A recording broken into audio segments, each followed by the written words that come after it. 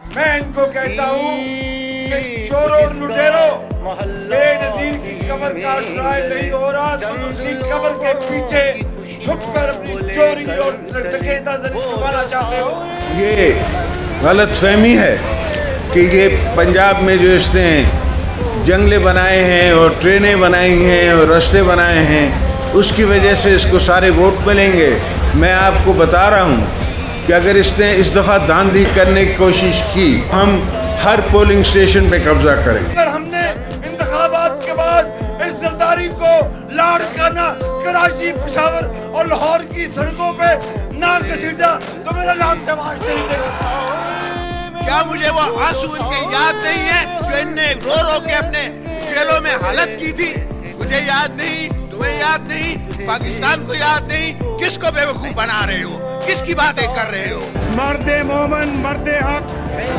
जियाउल हक सदीक को दराजे तहसीन पेश करने के लिए आए हैं। मैं आपको बताना चाहता हूँ कि असली शहीद ये है जिसने पाकिस्तान के लिए कुर्बानी दी, जिसका मजार यहाँ पे बना हुआ है और वो नकली शहीद और लाड़काना में है। जज्बा इश्क मुझे उसका पूरा पूरा एतराफ़ है जयाउल हक मरहूम से।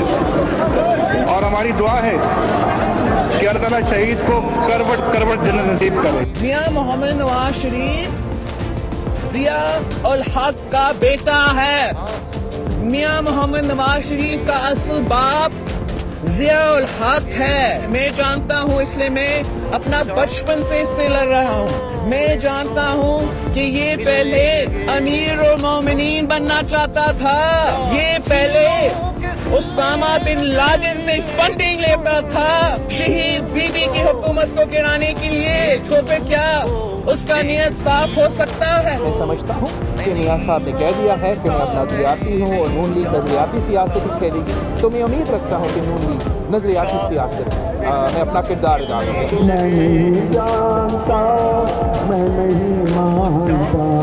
इंशाल्लाह ताला पाकिस्तान पीपल्स पार्टी वज़ीर आज़म के घर में होगा और मियाँ नवाज़ शरीफ साहब पानमा के क्राइम्स के लिए जेल में और इमरान भाई भाई मैं नहीं जानता मैं नहीं मानता। मियाँ नवाज़ शरीफ की शिकस्त मोदी की शिकस्त और कश्मीर की जीत होगी। आप तीन मरतबा वज़ीर आज़म बने मगर लीडर नहीं बने। सिर्फ़ बिजनेसमैन हमेशा आपने इस्टेब्लिशमेंट के साथ मिलकर हमारी पीठ में छुरा घोपा चाहे कुछ भी हो जाए आपसे सुलह नहीं हो सकती। जरदारी तुम्हें बात देंगे तुम्हारे टोले को घुमा देंगे?